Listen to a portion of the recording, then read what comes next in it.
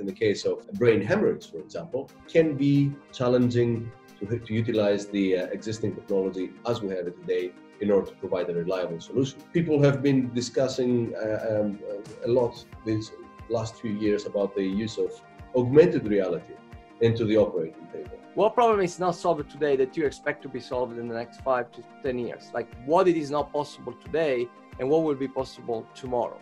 There are different types of problems. I would say the, the, the first one concerns the uh, having an equal number of solutions as we see for the extraction of different anatomical features for the individual conditions as well. For example, in the case of liver tumor, we do have a lot of uh, um, algorithms that extract liver, and we do have a lot of algorithms that extract tumor. But in the case of uh, brain hemorrhage, for example, this is not the case. And the reason for that is because there is an enormous amount of variability of how things might appear.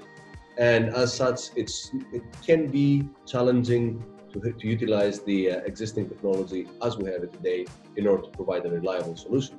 So we do need to see an evolution of the practices of the technologies before we actually address types, conditions of this type. The second one is actually um, utilizing technology as a, as a whole in a better way people have been discussing uh, um, a lot these last few years about the use of augmented reality into the operating table. So be able to do things beforehand, segment things ahead of time, and the moment you start operating, you know, uh, have a system that is going to project information onto the uh, patient body to let the doctor know ahead of time before he makes a CAT, for example, that you know there is a blood vessel behind it.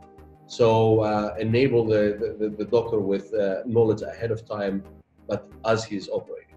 What needs to happen for that to uh, to become true? I will share a secret with you, and that secret is the following. We've seen that the uh, convolutional neural networks, as the name implies, is the uh, the marriage of two different technologies. The neural networks comes from the 60s, and the convolutional operator that, according to Wikipedia, has a 200-year presence.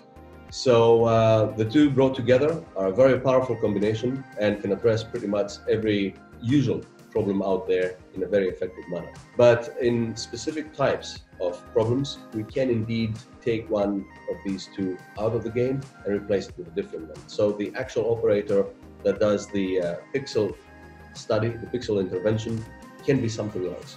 Can be something that will generalize better in this in the specific nature, the specific type of problems you try to solve. So in our works and in our research, we've seen that the uh, best way looking forward, looking in this direction, is actually taking the convolution out of the game and fine-tuning the uh, algorithmics with, uh, with uh, methods that are more suited for the specific types of problems we're trying to solve.